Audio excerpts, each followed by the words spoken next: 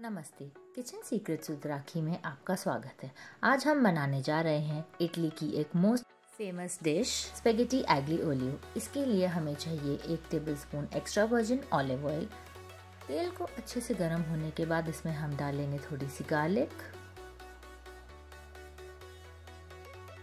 हमें गार्लिक को अच्छी तरह गोल्डन ब्राउन होने तक पकाना है। इसके बाद हम इसमें डालेंगे ड्राइड बेजल थोड़े से चिली फ्लेक्स इसको आप करीब 10 सेकंड तक पकाइए। उसके बाद आप डाल दीजिए इसमें बॉइल्ड स्पेगेटी स्पेगेटी उबालते वक्त थोड़ा पानी निकाल के रख लीजिएगा।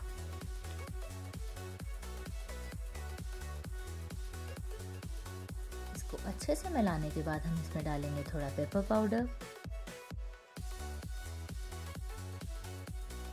और थोड़ा ड्राइड पार्सले आप यहाँ पे फ्रेश पार्सले का इस्तेमाल भी कर सकते हैं और थोड़ा थाइम अब इसमें हम डालेंगे स्वाद अनुसार नमक और जो हमने पास्ता वाटर बचा के रखा है वो। अब इस पास्ता को तीन से चार मिनट तक पकाइए और आपका पास्ता बनकर तैयार है।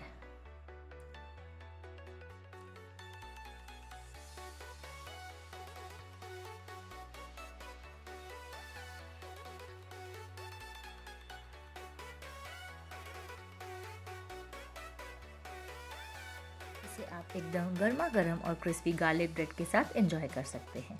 चलते हैं, मिलते हैं अगले वीडियो में।